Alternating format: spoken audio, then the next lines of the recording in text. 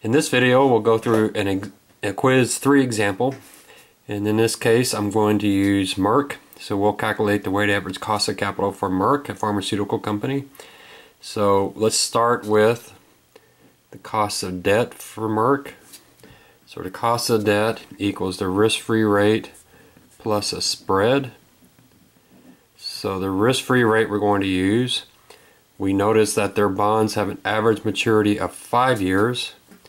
So we're going to go down and look at our choices of interest rates and we notice that the five-year treasury is currently at 3% so our risk-free rate will be 0.03 and then we need a spread. For the spread we'll go down and look and we'll see what we have in this table.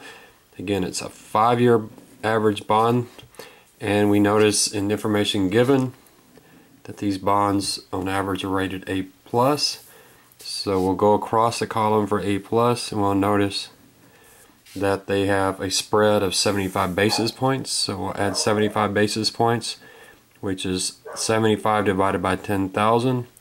That will equal 0.03 plus 0.0075. That equals 0.0375. So we've got the cost of debt. Now we need the cost of equity. In doing the cost of equity, we have a few things to consider. And in coming up with the beta. So remember there's four things to discover in coming up with beta. Number one is revenue sensitivity.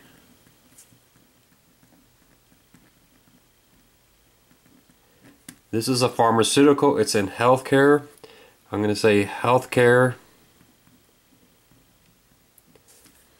is somewhat of a staple. That is consumers consumers are going to spend on healthcare no matter uh, what the economy is doing. It's, it's a required purchase. And so in that case, since pharmaceuticals for pills, people are probably going to continue buying their pills even in a recession. So I'm gonna that's gonna recommend a beta less than one, but not necessarily materially less than one, because there are aspects of the healthcare system that people can cut back on. There are some optional medicines, and people can delay purchases. But generally, healthcare tends to be a below one beta revenue wise. But just think through how would how would this company perform in a recession? Would its revenues fall about average versus the average company in the in the stock market fall more than average or far less fall less than average? In this case, since it's healthcare, a product people will will buy no matter what the economy is doing, I'm going to say that their revenues probably will not be hurt as much as the average company in a recession. The second thing we're going to look at is operating leverage. And in this case, I just give you the information because operating leverage, remember, is a measure of how much fixed cost is in their structure. In this case, we say that they're slanted more toward fixed costs than the average company S&P, which makes sense because as a pharmaceutical, they have a high research and development cost, and that's an ongoing cost. So that implies a greater than one, but you notice the word I use slanted more, so it's not excessively, but it is higher than the average companies, so slightly higher than, than one. The third thing is the financial leverage.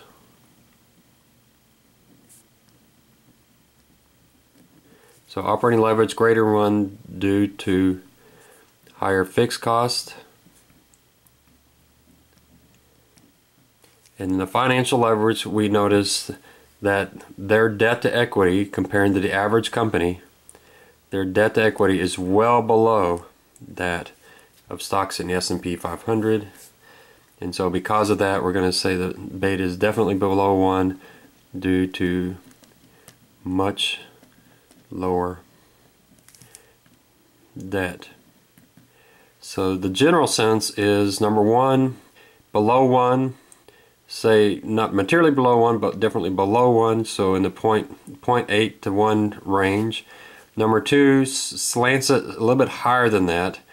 So if instead of being 0.8 maybe that makes it 0.85 or instead of being 0.9 makes it 0.95 but it raises it up a little bit but then the financial leverage probably overwhelms operating leverage because of their very very low debt so that's going to push it back down so I'm thinking something below 1 maybe in the 0.8 to 1 range but let's look at the historical graph and see what we see there and here's Merck's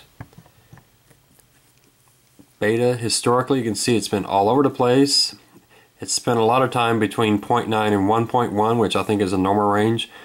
Then we had some really strange markets with um, all that happened in, with the dot-com bust and everything else going on. And probably what you're seeing here is uh, Merck, because it was not a technology company, just fared very, very well during this time.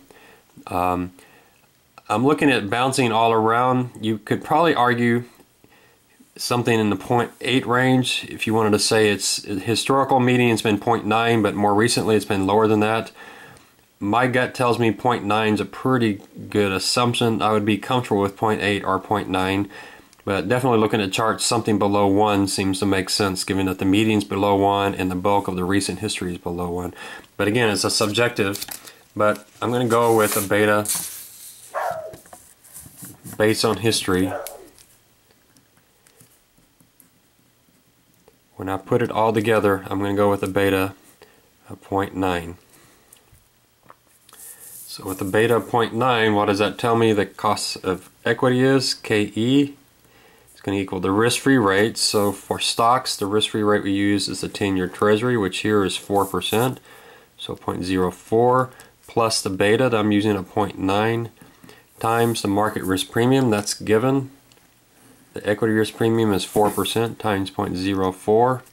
And so when I do all of that, it's going to give me a cost of equity of 0.076.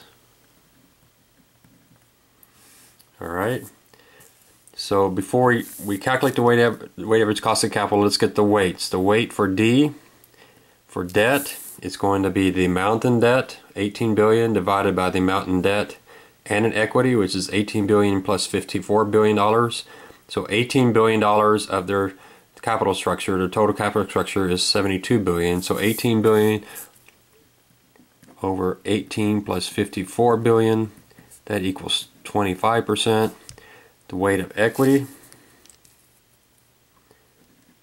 is going to equal 54 billion over 18 plus 54 billion. And obviously that has the equal the, the residual 75% so these two add up to 100% so now we have everything we need. The cost of capital for Merck equals the cost of debt. All right let me let me do it in order. The weight of debt times the cost of debt times 1 minus the marginal tax rate plus the weight of equity times the cost of equity so in this case the weight of debt is 25%. The cost of debt that we've calculated up here, 0.0375 times 1 minus the tax rate. The tax rate is given in the problem. Their tax rate is 35% and it is the marginal tax rate. So minus 0.35 plus the weight of equity that we just calculated, 0.75 times the cost of equity. Our cost of equity, remember, is 0.076. And when you calculate that all, all out, you get a cost of capital of 6.31%. That's your answer. So the formulas that you need is the cost of debt, the risk-free rate plus the spread, the cost of equity, which is the risk-free rate plus beta times the equity risk premium, and then you need the, the formula for the cost of capital, the weight of debt times the cost of debt times 1 minus the tax rate, make sure you put that in parentheses, plus the weight of equity times the cost of equity. And then to get the cost of equity, the most difficult part is, is figuring out the beta, which is a, a forecast, remember, so it's somewhat subjective. We looked at Merck's revenue sensitivity and decided because it's healthcare, it was somewhat of a staple, so less than one. It had higher operating leverage because of its um, research and development costs, so that pushed it a little bit above one. It had significantly lower operating uh, financial leverage. The lower financial leverage should have pushed it below one. And then history suggested something definitely below one, uh, probably somewhere in the range of 0.8 to 0.9. I chose to use 0.9, and that's what we plugged in. So those are all the pieces to this quiz. Thanks.